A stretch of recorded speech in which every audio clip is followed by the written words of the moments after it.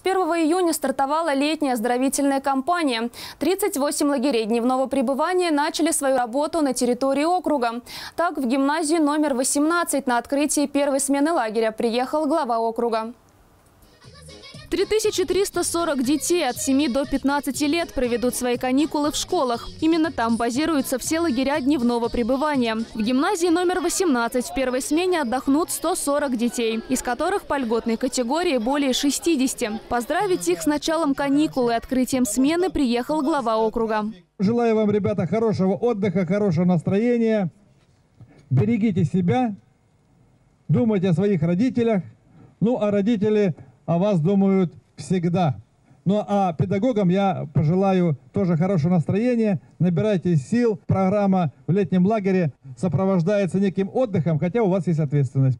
Далее, после торжественного открытия для Владимира Ружицкого провели экскурсию в комнаты для отдыха и игр, а также в пищеблок. Ребята будут питаться три раза в день, а время пребывания в разных лагерях варьируется по желанию родителей. Также этим летом предусмотрены путевки для ряда категорий детей. Об этом рассказала Виктория Бунтина.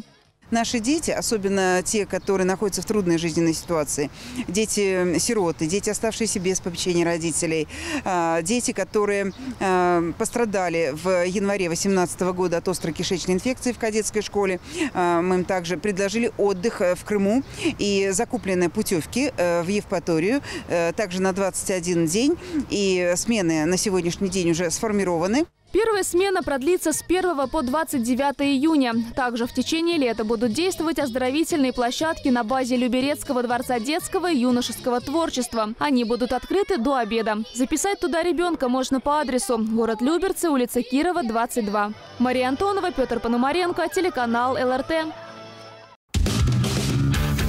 Привет! Меня зовут Александра Томей. Вы смотрите ЛРТ. Подписывайтесь на наш канал на YouTube, ставьте лайки и будьте в курсе самых важных событий.